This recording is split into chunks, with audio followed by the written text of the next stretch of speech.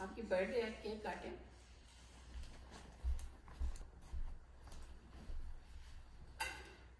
Happy birthday to me, happy birthday to me, happy birthday dear Masood Shah, happy birthday to me. छुरी ले आओ cake